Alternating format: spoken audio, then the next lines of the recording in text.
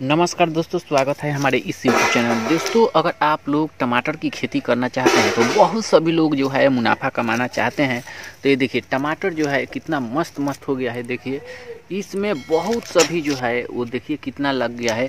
तो इसमें हम तो जान रहे थे कि बीज भंडार से लाए हैं तो ये जाने, ये सोचे कि ये नहीं फल देगा, लेकिन ये देखिए कितना मस्त मस्त, इसके दाढ़ी दाढ़ी में ये जो है तो बहुत ही टमाटर लग गया है देखिए कितना मस्त है। ये बीस रुपये का लाए थे ए, कम से कम समझिए कि पाँच ही बिया था लेकिन इस ये देखिए देखिए ये सब जो है ये टमाटर ही है और इसमें अब देखिए पक रहा है ये थोड़ा सा दिख रहा है आपको पका हुआ वो पक रहा है ये पक रहा है।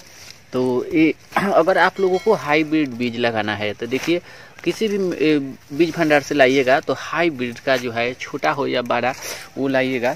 और आपको देखिए कितना मस्त टमाटर खाने से टमाटर में चूना पाया जाता है, हड्डी मज़बूत करता है, लेकिन खाली पेट खाने से टमाटर पका हुआ, जैसे कि जो वो है, पका हुआ तो सलाद खाने से पेट में जो है, पथरी बनने की संभावना बना रहता है। और ऐसे कांचा जो है, इसको तोड़ करके सब्ज़ी में डाल करके बना सकते हैं तो खाने पीने में बहुत ही टेस्टी लगता है और खटापन के चलते खाना भी जल्दी पच जाता है।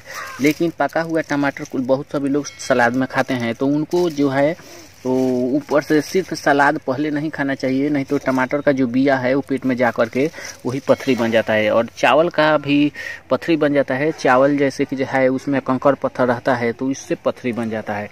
तो प्याज का सेवन सब्ज़ी में ज़रूर करना चाहिए। जो लोग प्याज का सेवन नहीं करते हैं, उन्हीं लोग को पथरी हो जाती है। अगर आपको पथरी है तो प्याज ज़्यादा मात्रा में सब्ज़ी में डाल करके खाइएगा। पथरी जो है, पेशाब के रास्ते से गल करके गिर जाती है। और आपके स्वस्थ शरीर बन जाता है। दोस्तों, वीडियो देखने के लिए बहुत बहुत धन्यवाद। दो मिनट की वीडियो है। आप लोगों को जो है समझ में आ ही गया होगा। थैंक यू दोस्तों। माता दुर्गा जी जहाँ रहें, वहाँ बने रहें। थैंक यू दोस्तों। मस्त रहें।